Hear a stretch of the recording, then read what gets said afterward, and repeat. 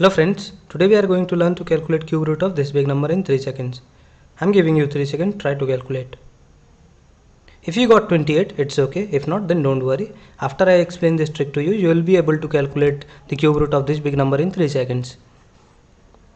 Let us learn one pattern here. The cube of 1 to 9. There is a pattern that for the cube of 4, the ending digit is 4. 5, 5, 6, 6. For 7, it's 3. For 3, it's 7. For 8, it's 2. For 2, it's 8. For 9, 9, 1, 1. If you learn this pattern, now we'll try to calculate the cube root of this number in 3 seconds. You see 2, 8, 2. Just try to synchronize. Write 8.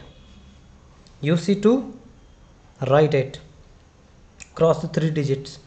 There is 21 now find a cube uh, find a number whose cube is less than 21 now we find a number 2 whose cube is 8 which is less than 21 and the right next cube 3 cube is greater than 21 so write 8 so uh, we have got 8 which corresponds to 2 write 28 you have got the answer.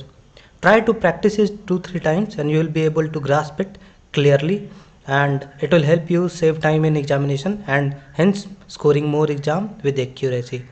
Subscribe to my channel for more such videos. Thank you